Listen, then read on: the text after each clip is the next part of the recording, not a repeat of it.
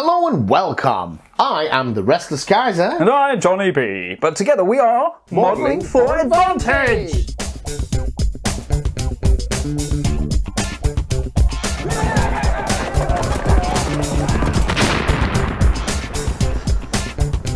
Right, dude, you seem to have a box of Diddy Men. A box of Ken Dodd and Diddy. Uh, Please explain. It contains more than 1,000 soldiers. Well, that's ridiculous. Uh, this is Black Powder Epic Waterloo from uh, Black Powder Games. No, Warlord Games, isn't it? I mean, Do you want to? While, while I at this, at this a time, pro. at this time in in in its current form, it might as well be Black Powder Games because they're kicking out some awesome stuff.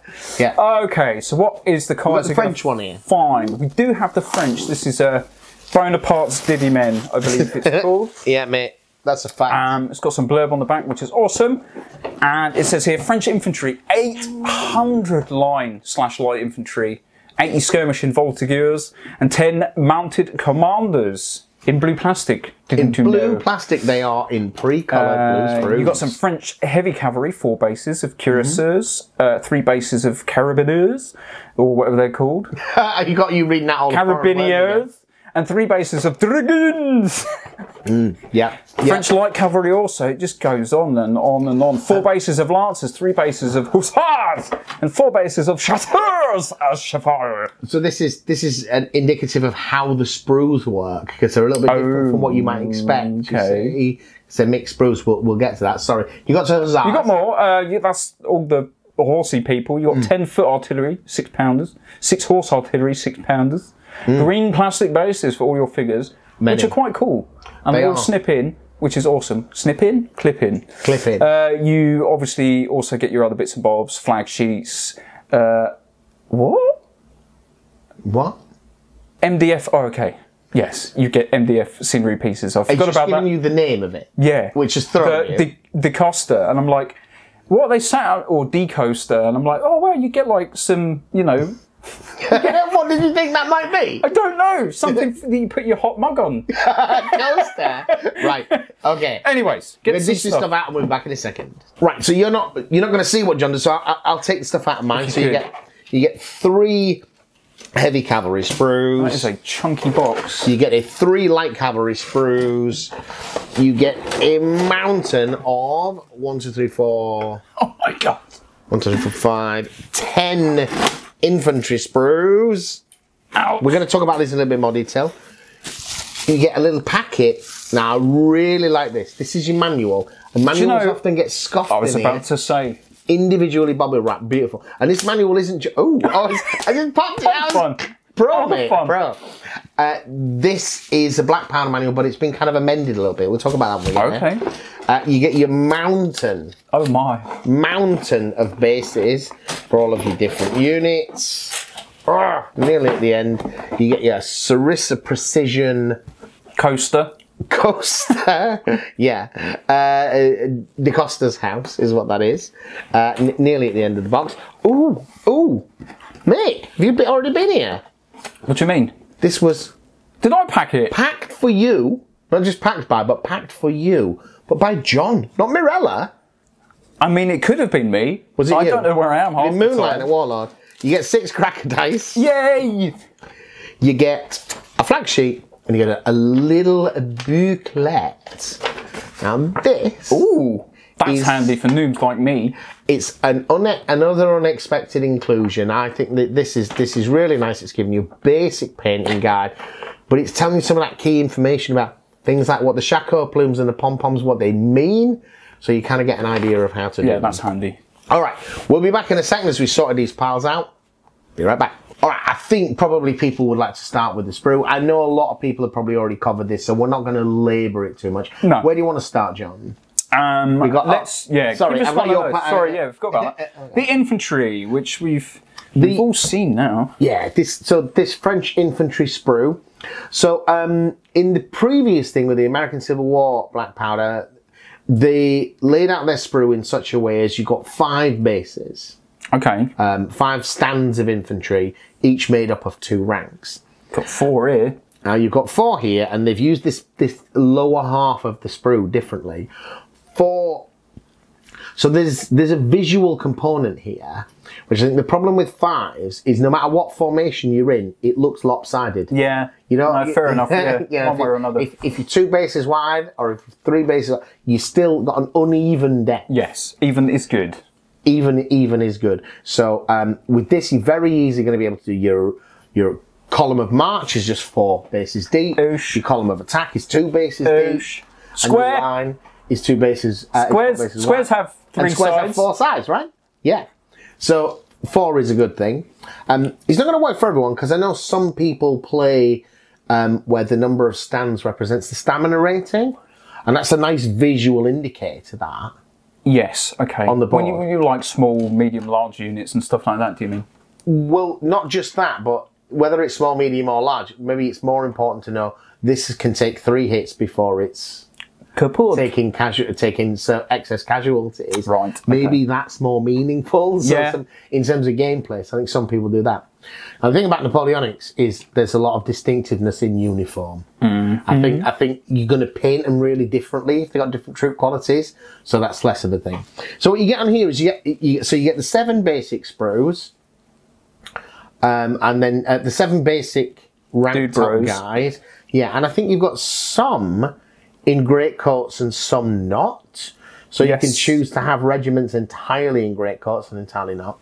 And then, um, and this has caused a little bit of a, a little bit of uh, disappointment for some people. Is your standard bearer company? Hmm. The standards on the left hand side. Right. Is this right? Okay. It's not in the middle. It should be in the middle.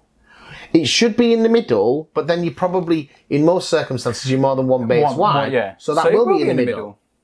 It's only not in the middle when you're in column. when you're in when you're in column of march. At which point it does look a bit odd. yeah, I can imagine. But but I, I think that that's probably a better idea if you've got if you've got to do it like that. Although I would have put it on the right because in military terms, right is usually the position of honor.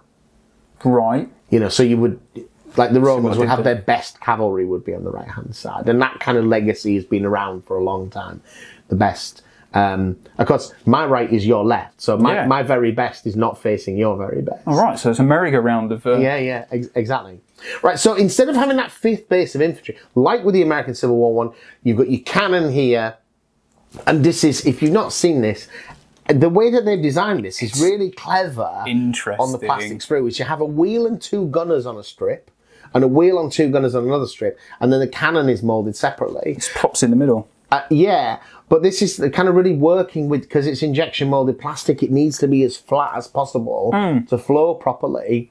But you get so you get in that depth of that nice that nice plastic sculpted piece by doing it differently.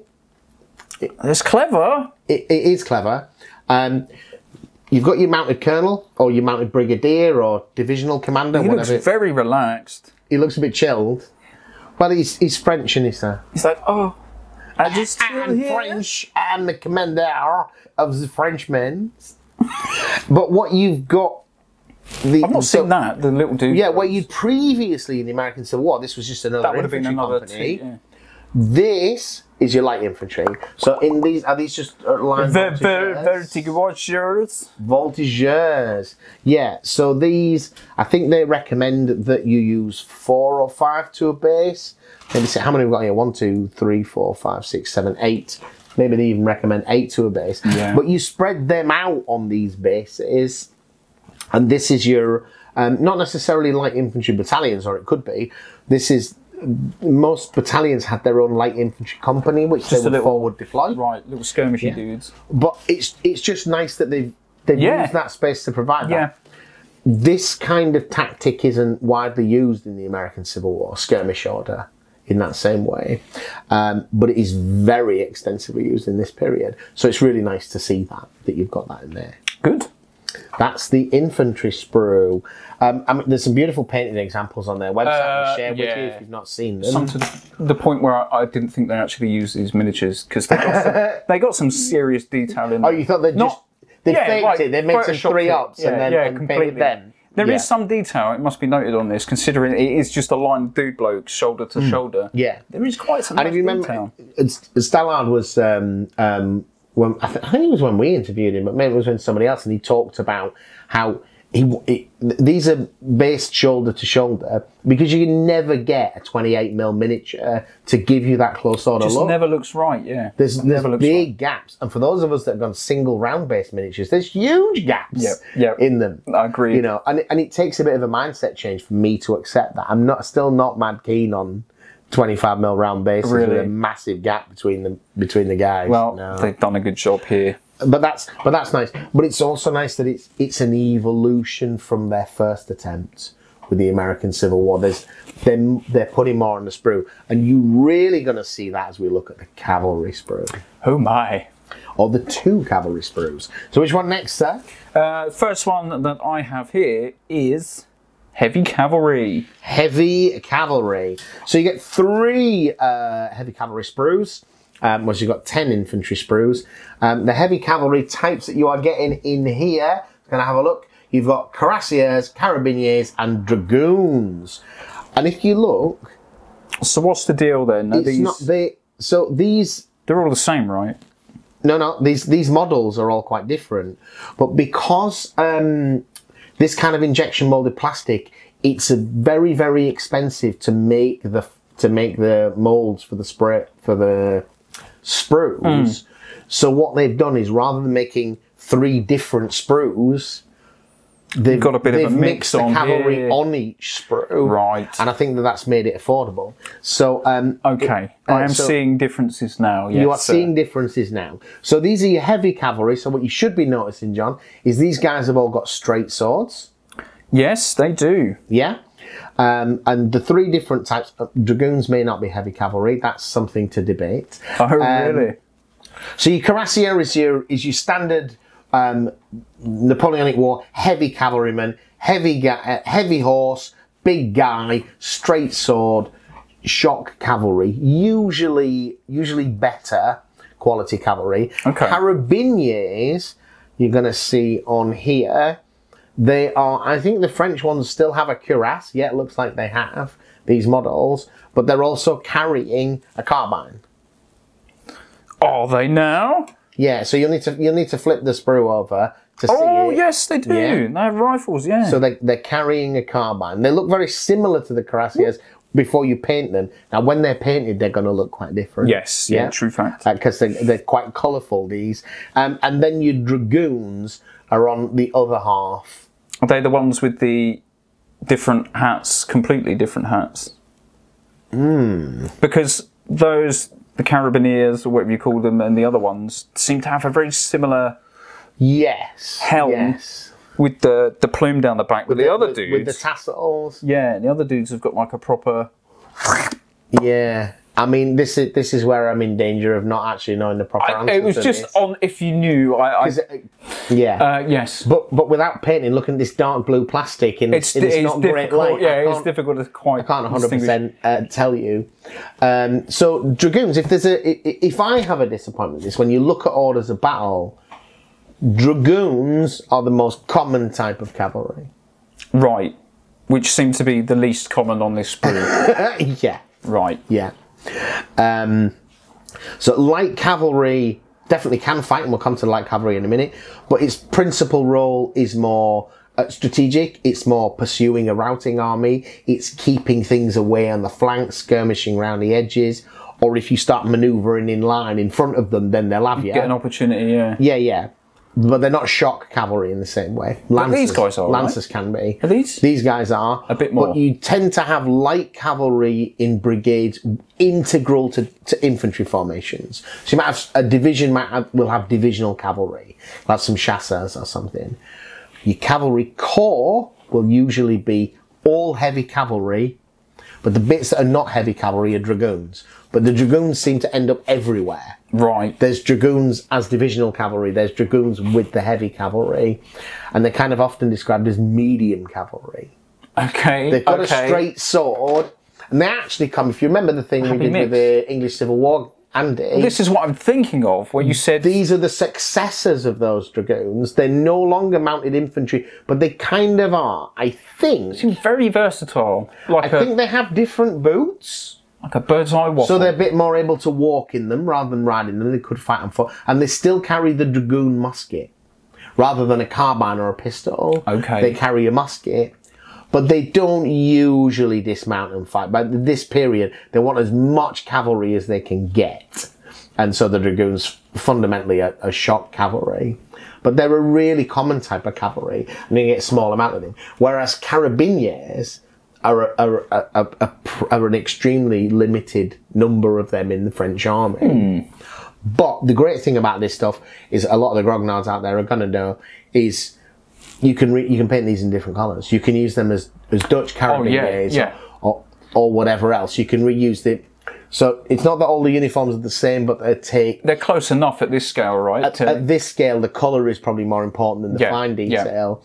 Um, but also, they, they take ideas from one another. The uniforms are similar, although not the same. But that's probably more that, you know, if you're expecting to see um, em- em- embroidered pelisse on something in this scale, you, you're missing. But you're gonna going to have to yeah. paint that on, right? um, so, but it's it's a good idea because I, I think obviously I prefer it if this was I a mean- if this was a dragoon sprue, that was a Carabinian sprue. But I don't think that that was ever going to happen. I think the way that they've done this is reducing the total number of sprues, which makes the range comprehensive. yeah. I think without this, it just it just isn't the cost benefits on that. They've looked long and hard at how to do this. Yeah, they put There isn't an. American Civil War cavalry sprue. They obviously don't Yet. expect yet, but I don't think they necessarily expect to sell enough. Yeah, true. need to sell loads of these. At some point, it becomes really cheap to sell these, but but at the beginning, Right now, yeah, yeah, they've got to sell a lot of them. they make need to money. sell the stuff that's going to sell. So you also get your horse artillery on here, Get a couple of banners as, as and you, and you get and you get a couple of banners. a couple of the yeah. eagles. Um, again, grognards will know. I think cavalry regiments tended to leave their standard. I mean, charging across the battlefield holding a flag when Oh. you're supposed to charge into someone. That's the way to go. I don't know whether they took them on campaign. They may they may have done, but I think, for example, the British ones they didn't they didn't even take them with them. You Not even- not for even present. But they, they might be. And you've got uh, you've got an artillery piece as yes. Yeah. well. Um, but Is is that different from the?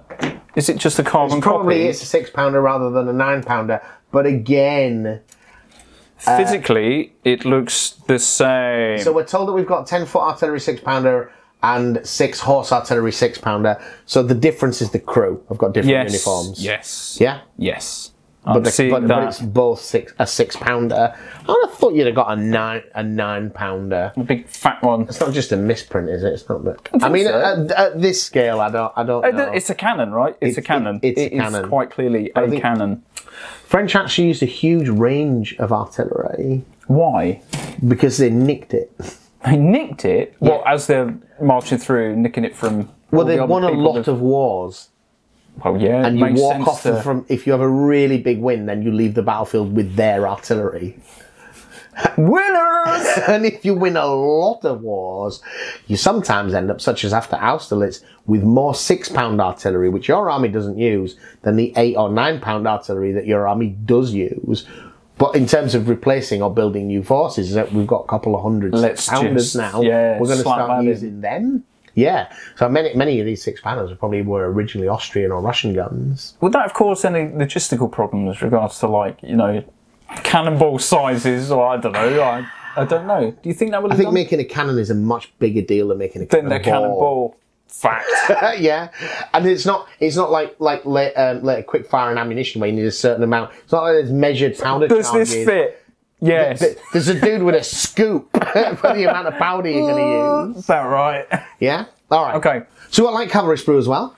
Light cavalry. Uh, so um, if you like the spectacle of it, the light cavalry is where you're going to see the beautiful uniforms. It's where you're going to see people in pink and green and yellow and all of those different things. Hang on a minute. I went and put the effing cavalry underneath the, All right, the you put on the- cavalry. got the wrong one. So again, you've got the same. You've got the same bit at the top with the Okay. with the um, horse artillery crew and the six pounder and those eagles.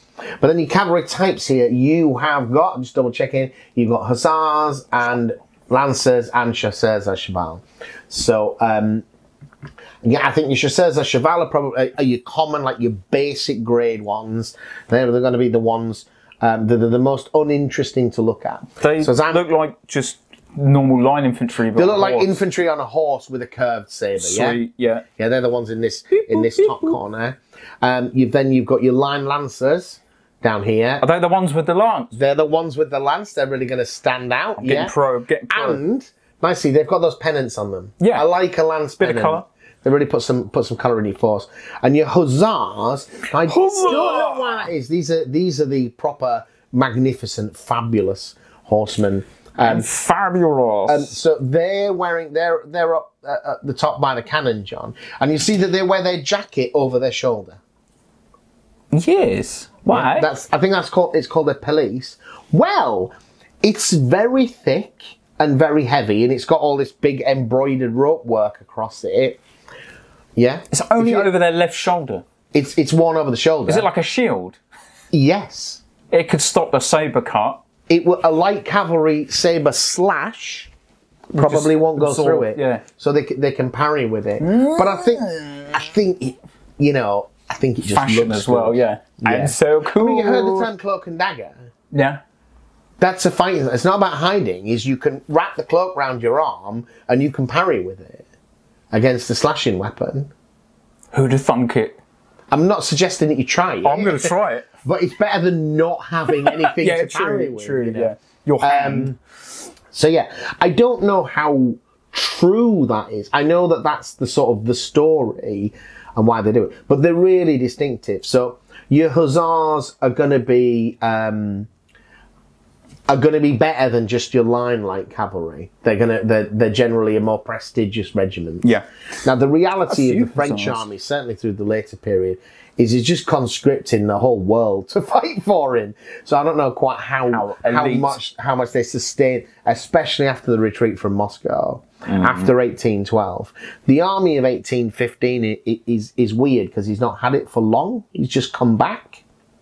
So there there are veterans of his older campaigns in there, but it's a real mishmash of really good experienced but older men, and then really inexperienced to pad out the numbers. Um, but he's because he's he's trying to raise armies.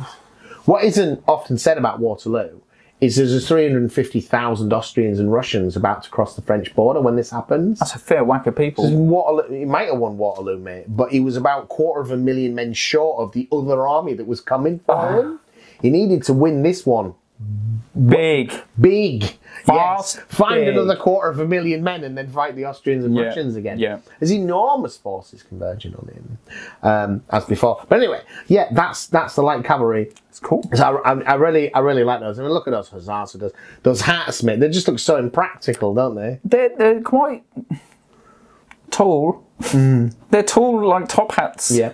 Uh, one dude's got like a bear skin. What's that all about? Yeah, so he's probably an, an officer, a, a hussar officer. That's cool. That there's a bit of a difference there, and Yeah. of course the Lancers Because have the sausage. these models are not, they're not like all the same bows by any means no either, are they? No. There's some similar, or is it that they're the same pose and then Uh, there's a sergeant figure? I think that No, there is differences. there's- there's- some of the coats, although they're all sort of got their swords pointing forward on the charge, you look at the coats there, they do actually. Some of the sleeves are wafting in the wind, some are not, some are subtle differences, but there are differences there. Oh yeah, yeah, there are, and you don't want them too different because you, you play this game to get the regimental look, right? Yeah, yeah, come on. Yeah, you don't you don't want them all radically face it. different. All right, mate, that's that's That's the bulk that's of it. our response to the three sprues. Um, I think I think it's really nice. There's also more coming. There's there's they're doing Highlanders and 95th Rifles and French Old and Middle Guard. So they can really focus in yeah, and I think they have like specifics. Marines of the Guard, which is again another unique regiment, but it was maybe there. Those are the, those are the things. So uh, what else we got in here? We got a bit of scenery. Yes, Yeah. which is always good, right? Yeah. Uh, shall I open it up? Do you want to open it up? Um, I'll let you open it up You let me. You let me open it up. because you can have a little. And then you can you can keep the bits of Plus, paper. not only that, you've been working with MDF of recent. I've been doing, um, quite- doing quite a bit of this. Yeah. you know, you're gonna Yeah. have a, you're gonna have something to say. So about I don't have one of these to show you, but I do. Do you want to show them the? I can. oh, what is this one? That's one of the ones that came from the American Civil War epic. But if you see that, these, I was I was genuinely impressed with the quality of this this kit. So obviously this Warlord Epic, it's like 13 mil uh, foot to eye. Um, not quite 15 mil, but your scenery is going to be 15 mil, right? Yeah. You're Yeah. not gonna, you know. And this is Sarissa Precision 15 mil scenery. And it is quite precise. It is, and and it went together quite easily. It pushed out of the frame quite easily. You get these nice instructions. I mean, see how snugly that those roof parts. Very fit? snug, yeah. I've just been demonstrating how, you know, considering that That's in on, on most kits, a right angle sometimes doesn't even Yeah. fit, you know, Yeah. just getting that slope of a normal roof. Absolutely. But this, this is So that's not in here. That's from No, no, no, But that's something it- else. But, But as we can't build this in the next ten seconds. This is what you're getting in here. Yeah. So this one is one of the buildings uh, from I don't know La Belle Alliance or somewhere. What was it called? De, De Costa's De Costa's house in 15 mil. De Costa's house. Okay. So it's a is it a single sheet? It is. It's a single sheet of MDF here, well you never. um, which which you can see there. So it's it's etched. It's got um, a little bit of uh, texture on the roof and so forth. And these pieces, you can see they're gonna they're gonna come out very easily. With some cheaper kits, you've really got a gouge at the at Yeah, the the, connection the points. gates are a bit too a bit sticky too. Well, these are just these it are ends just up coming out. tearing some of the, the material away as well. Yeah, or, or cutting into it, Yeah. or, and then you get like a furry bit of MDF when it comes to painting. Um, which is a pain. Yeah. That seems to be coming out nice and easy. absolutely. And you instructions. They're IKEA type instructions. Yeah. But these things, they're still useful if there are obvious sub assemblies. Yeah. Where you need to leave that to dry. If you're using super glue, that's probably less of a problem. I hate super glue, so I tend to PVA it, which Like, means I got to gives you a little bit of wiggle room, What? doesn't it, when you're using PVA? It does, but it doesn't hold it still if you need to attach a bit That's to another the bit. downfall, yeah. Yeah, yeah. And you even get a rudimentary painting guide on here. Vietnam. Gives you gives you an idea, uh, right down to like suggesting you can use templates for bricks and so forth. So I, I you know, I'm, I'm really pleased, and the fact that it is a Belgian farmhouse or Are you whatever. happy about that? It's well, like because this I can like use it for just about anything. This is definitely going to appear on Flames of War board at some point. You know, Awesome. um, in that, so that's your little bit of scenery. I feel a bit of scenery really improves the starter set. Yeah, if it's if it's relevant, like you know, like if it's going to do something, I don't know much about buildings and how they work in black powder, but um, But even if it's even if it's Well, just that you can't move just the- yeah, shoot true, through here true. and move round. Just having it to set the scene. because it's, I feel it's the part of people's collection that's usually weakest. Yeah, normally And if every starter set they ever bought came with some scenery, might promote. everyone would have a lot more scenery. Yeah, But it's the thing that people find hardest to find the time and the money for the extra. you got to do the dudes, don't you? More than Yeah, anything yeah. else. You always want the next army, the next period. But stuff like this, I think this is a, it's going to be a great, you know, very flexible Yeah. piece piece of scenery that you only ever want one of. So great, it came it, it came with it. It's going to be in something else, and you get a different one with the other starter army. Even better, it's, it's not duplicated. That's good. Last few bits. I mentioned The thing. I want to see that. I Uh, want yeah, to you- see that. You have a look at that, mate. Because I'm a noobs, all right. You're a so. noobs army. French Painter Guide. Okay, this is cool. This is cool. Block colours even tells you the steps as well. Block colours, doing your bits and bobs. Not that I'm a noob at painting, but I am a noob at Mass painting. ma- well, actually, I am a noob at painting. I'm just really slow. But this is cool. The bibbles and bobbles. Grenadiers first, second, third. What? Yeah, all the things. Mate, Mate, very nice. And, it, and and again, flag sheet. Love this flag sheet. Um, so the way that French standards work, as I understand it, is the first battalion in a regiment has an eagle, and the others have these other things. right. So it's not so it's not like every unit's got an eagle. It's the first battalion dogs. of a regiment. The And. At Waterloo, I think most of them four or five battalions fielded per regiment. So you use these you use these other ones after that. But you've also again you've got on here you've got some young guard, you've got some old guard, uh, middle guard, dragoons, range, a range of flags, and just including a flag sheet this is one of the things that if you start with this army and it doesn't come with a, a box like this, doesn't come with a flagship, you're immediately having to find that and put a bit Yeah. of work in. Yeah. If you want specific regiments, they're not going to be here. No. But if you want to play it out of the box, flags really, li- the smaller the a big miniatures, thing. the bigger the deal that the flags make and the more models there are on. So really pleased true. to see that in there. And then the last bit is the rule book. The Rube Overjoyed that this rule book In- is in a little bag. in bubble wrap. Yeah, because we had a few of these get, get a bit scuffed up. Fair few. Yeah. Crushed. That looks meaty. Oh mate, that that smells toxic as yeah. Plastic it, you know, photographic paper. Oh, right. Um, other people have gone through um, this in a great deal of details. What's happening here is they've taken the black powder rolls, Yeah. Looks like they've beefed it up. they've, they've beefed it up, they've and they've edited it. So a they've changed the pictures. Nice. So the pictures are all like Wa- Waterloo pictures. nice. You're not going to see some like you know Maxim gun in the corner. They've removed many of the rules that just don't apply to the Napole- Napoleonic period. Okay, so you don't have to sift through that. And Nice. then, and then specifically for those that are interested in doing the Waterloo campaign, in particular, is to change all the scenarios at the back, and not from throughout the Black Powder era. They're all the battles and skirmishes of this campaign, now that is good. which is which is fantastic. I mean, don't get me wrong, you're going to need more than this if you want to play all of them. Proper, yeah. Uh, but it's it's got the army lists, you know, stats, all uh, you know, all of those kind of things, and a lot of this has been taken from the the, the Black Powder supplement for Napoleonics. Okay. If you're a real grognard about it, you probably still need that supplement. Right. But if you're just getting into Waterloo, if you're just getting into Napoleonics, this will do you.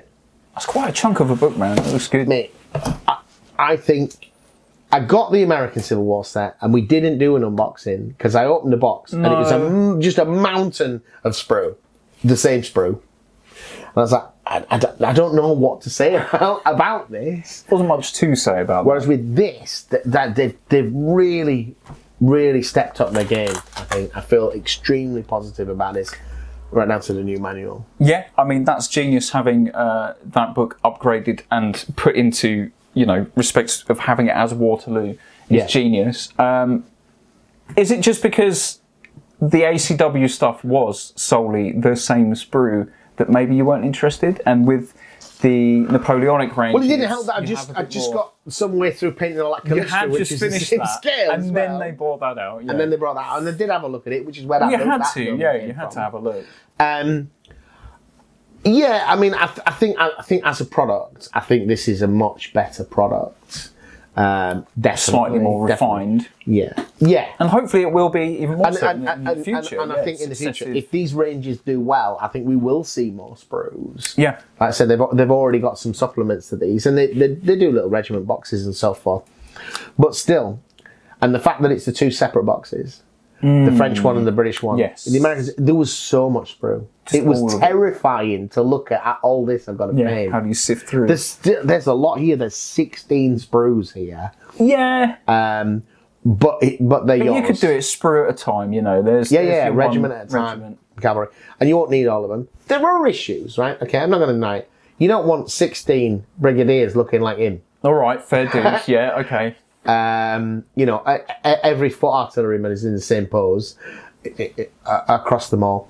But I think in this scale, you kind of come to expect that. Yeah, And I think that there are a range. There are well, there are definitely other companies that do 12 and 15 mil miniatures, so you can use for your colonels, uh, your, your your brigadiers and divisional commanders, etc. But I think they probably will do some resin ones. yeah. Or- surely, or some- surely or they'll bring out some, yeah, some you know. command packs and bits and bobs just to Yeah, be able to change all of it those up. things to give you some flavour. But the grand scheme of it and the visual spectacle that this very box could create, yeah. that's cool. This is the, this is one of the first times as well. I've thought this would take such a long time to pay. Pin. I am actually quite tempted to play this with the colour bare bones, yeah. Risk. because I've seen a video and it didn't look terrible. No. Wow. because Okay. of the shapes. Maybe anyway, guys, that's our look at this. Um, I don't know how much insight we were able to give you other than many, many other people that have covered it. Um, certainly, you want to know more about this manual. It's been covered in much more detail than I, than I've done here. Any any mistakes or errors are my own, based entirely upon ignorance. Um, but in the meantime, Thank you for watching. Bye.